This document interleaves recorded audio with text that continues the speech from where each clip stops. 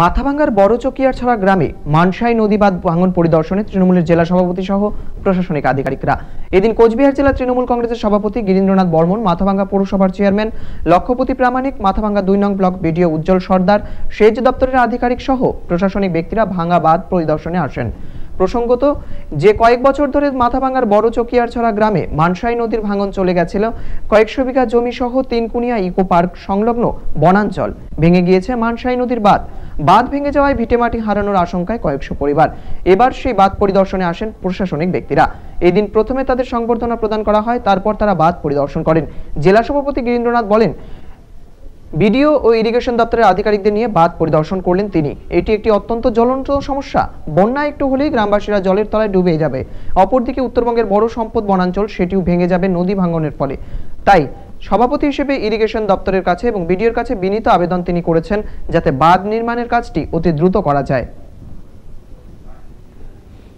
কি জানিয়েছেন কোচবিহারের তৃণমূলের জেলা সভাপতি গিরীন্দ্রনাথ বর্মন? শুনে নেব।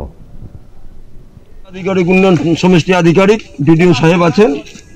ইঞ্জিনিয়ার সামনে এদিকে যে ইঞ্জিনিয়ার সাহেব আছেন সবাইকে নিয়ে আজকে আমরা একটা জ্বলন্ত সমস্যা।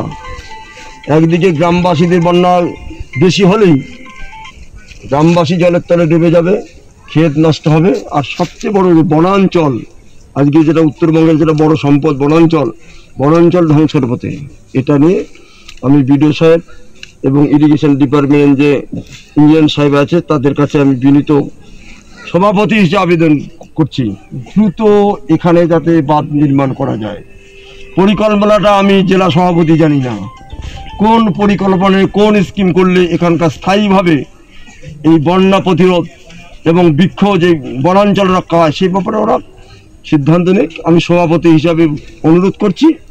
আর যদি কোথাও সমস্যা থাকে সেখানে আমি হস্তক্ষেপ করে সেই সমস্যার সমাধানের উদ্যোগ নেব।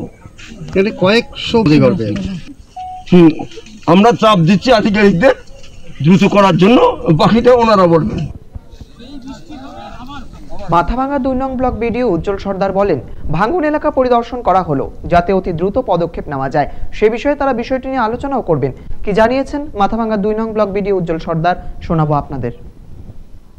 পর্যবেক্ষণ করলাম দেখলাম কি আমাদের সঙ্গে এসডিও ইরিগেশন আছেন এসডিও ইরিগেশন সাহেব আছেন। আমরা যাতে দ্রুততার সঙ্গে এই এর ব্যবস্থা করা হয় যায় বা যা যা ব্যবস্থা নেওয়ার আমরা নিতে পারি সে বিষয়ে আমরা পর্যবেক্ষণ করব এবং প্রয়োজনীয় পদক্ষেপ নেব।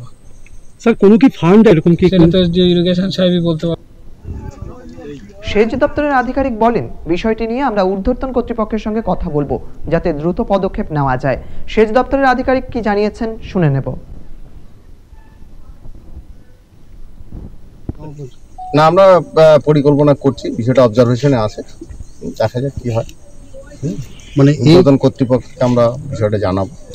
মানে এটা দ্রুত কাজ শেষ মানে দ্রুত কাজও কি করবেন তারপর আপনারা? হ্যাঁ আমরা সেটা যত দ্রুত সম্ভব সেটা চেষ্টা করব।